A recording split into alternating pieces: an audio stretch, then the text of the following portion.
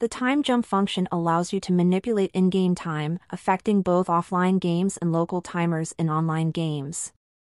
It can speed up processes like crop growth, building construction, energy regeneration, and other time-based mechanics. The function takes a time parameter, which must be a string, formatted in the English locale. This means using colons to separate time units and periods for fractional seconds. If your game is set to another locale, you may need to switch it to English for proper functionality. The return value of the function is true when the time jump is successful. However, if an error occurs, it returns a string containing the error message instead of true.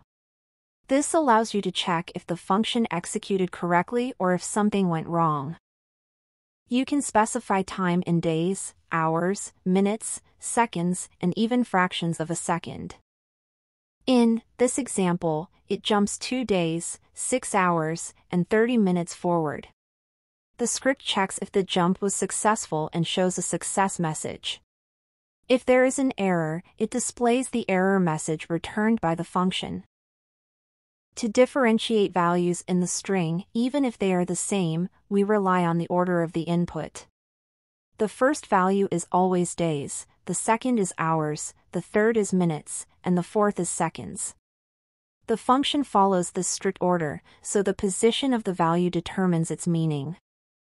To skip the day value and only specify hours and minutes, or other units, simply omit the day value from the string the function will automatically interpret the remaining values as hours, minutes, and seconds based on their position. The time jump function in Game Guardian acts similarly to a global function, affecting global game time. It manipulates the in-game delta time, which is the elapsed time or game world time. This means that it does not just affect one specific object or task, it advances the entire game's clock by the specified time. Both speed hacks and the time jump function manipulate the passage of time in a game, but they do so in different ways. A speed hack alters the overall game speed by changing the rate at which time passes. It makes everything in the game run faster or slower. For example, actions, animations, and events all speed up or slow down in sync. It affects all aspects of the game in real time.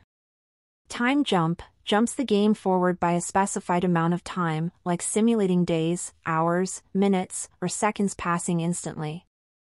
It does not change the game's real-time speed but simply advances the game's internal clock by the amount you specify. It also affects the entire game world, such as crop growth, building construction, or event timers, but it simulates the passage of time rather than speeding it up.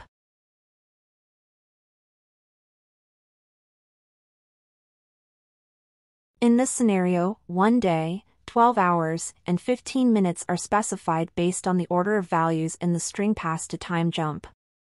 The format follows the order, first value, days, second value, hours, and third value, minutes.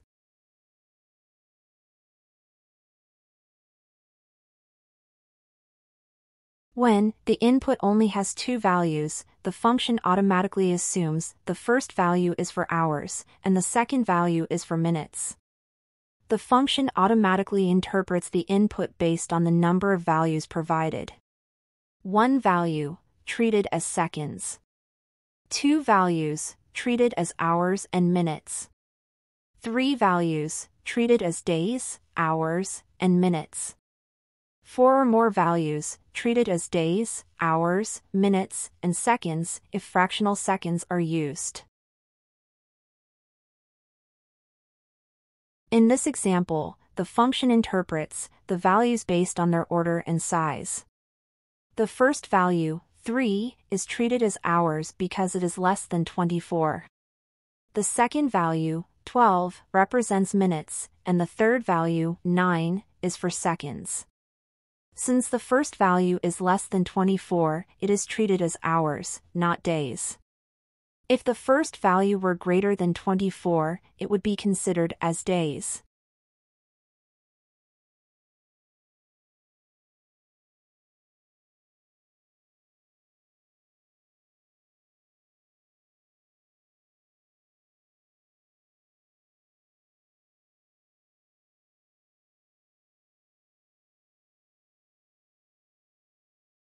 In this case, the input represents 3600 seconds and 0.5 seconds. The function interprets the number before the decimal point, 3600, as seconds, which is exactly 1 hour, since there are 3600 seconds in an hour. The number after the decimal point, 0.5, is treated as fractional seconds. So the function jumps 1 hour and 0.5 seconds ahead.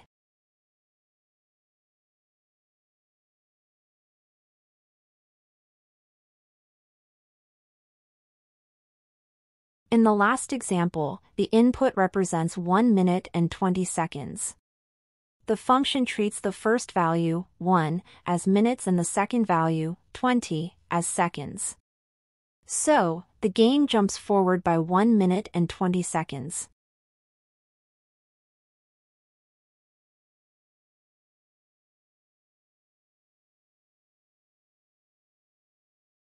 The time jump function is a powerful tool for manipulating in-game time by simulating the passage of time. It allows for precise control over time, whether you want to jump forward by specific days, hours, minutes, or even fractional seconds. This can be useful in games where time-based mechanics play a key role. By providing flexible input formats, it gives you the ability to simulate various scenarios and events efficiently, making it an important function for controlling game progression.